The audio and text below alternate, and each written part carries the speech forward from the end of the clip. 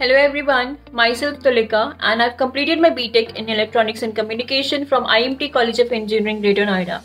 Well, talking about success, I've completed my uh, electronics from 2016 batch and got 5 to 6 on campuses, 3 to 4 off campuses and also have cleared my civil services till mains.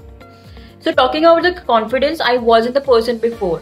I was having no confidence when I entered IIMT but the intelligence system of IIMT on the basis of teachers are such that they have helped me gain so much of confidence that I was never since my childhood I would say. And not just me, there are many friends in my own batch who are now working in Google, they were having no capability for that. So IIMT is a place, it's a worthwhile for your education.